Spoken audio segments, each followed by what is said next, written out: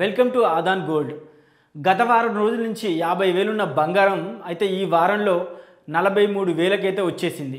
బంగారం ధర తారాస్థాయి నుండి ఈ వారంలో జరంత తగ్గిందని చెప్పవచ్చు. ఏడు వేలు ఎనిమిది వేలకు తగ్గిందని చెప్పవచ్చు. రెండు తెలుగు రాష్ట్రాల్లో బంగారం వెండి ధరలు ఎలా ఉన్నాయో ఒకసారి మనం పరిశీలించి చూద్దాం. ట్వంటీ టూ క్యారెట్ పది గ్రాముల బంగారం ధర తెలంగాణలో నలభై మూడు వేల ఐదు వందల వద్ద అమ్ముడుపోతుంది.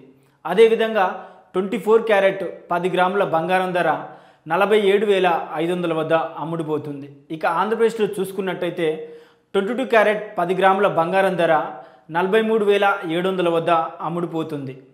అదేవిధంగా ఇరవై నాలుగు క్యారెట్ల పది గ్రాముల బంగారం ధర నలభై ఎనిమిది వేల నూట యాభై వద్ద ఆంధ్రప్రదేశ్లో అమ్ముడుపోతుంది.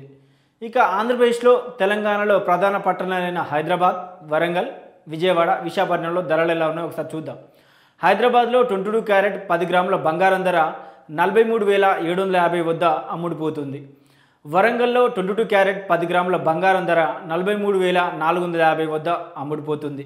అదేవిధంగా విజయవాడలో ట్వంటీ టూ క్యారెట్ పది గ్రాముల బంగారం ధర నలభై మూడు వేల ఆరు వందల యాభై వద్ద అమ్ముడుపోతుంది. అదేవిధంగా విశాఖపట్నంలో ట్వంటీ టూ క్యారెట్ పది గ్రాముల బంగారం ధర నలభై మూడు వేల ఆరు వందల యాభై వద్ద అమ్ముడుపోతుంది.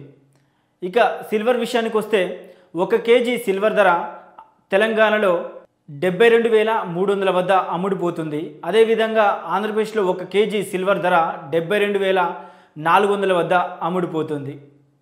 ఇక ఈ బంగారం వెండి ధరలు అయితే తగ్గుతూ వస్తున్నాయని చెప్పవచ్చు.